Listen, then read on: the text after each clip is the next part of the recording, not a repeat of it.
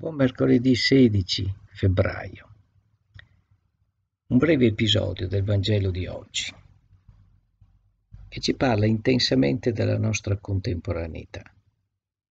Se lo leggiamo non in termini meramente miracolistici, ma cogliamo il senso paradigmatico, simbolico, metaforico dei gesti che fa Gesù con i suoi discepoli arriva in un villaggio, gli presentano un cieco e chiedono di guarirlo. Allora Gesù, primo gesto sostanziale, lo prende per mano, crea una relazione attraverso il tatto, fa un gesto di vicinanza, di socialità e lo conduce fuori dal villaggio non opera dentro il villaggio, perché quel villaggio è il contesto nel quale quella persona ha espresso la sua cecità. Cambia totalmente il contesto. Oggi siamo attraversati da crisi profonde nelle quali tutti i giorni ci avvertono che presto torneremo come prima, cioè staremo in quel villaggio simbolico dei nostri stili di vita che hanno preceduto questa crisi sanitaria. Nessuno ci prende per mano e ci porta fuori dal villaggio, fuori da ciò che era prima. Lasciamolo alle spalle. Lo porta fuori dal villaggio e fa dei gesti molto semplici. Tocca i suoi occhi con la saliva. Guardate, questo è un gesto di grande potenza perché è l'incontro dei corpi nel rigenerare. La vista è il riconoscimento. Di questo ci parla il Vangelo di oggi e in quel gesto semplicissimo poi impone le mani e gli chiede cosa vedi. Ed è un passaggio molto potente, cosa vedi?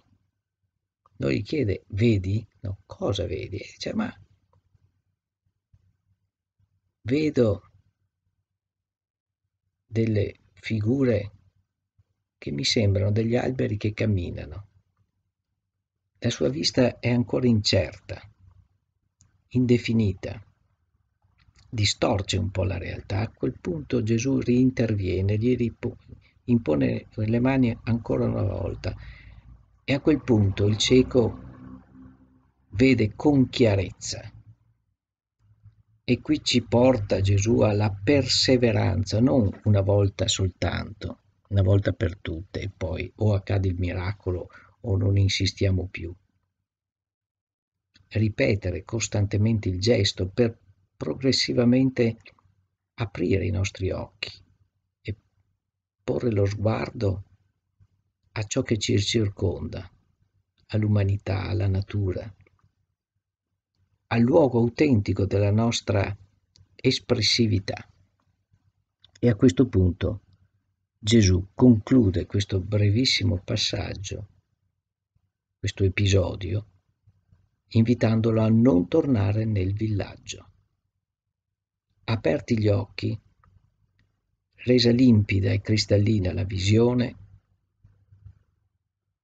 è chiaro che la nostra tentazione è tornare indietro, è veramente quello che oggi in qualche modo vogliono indurci a fare, rassicurandoci, non c'è nessun dubbio.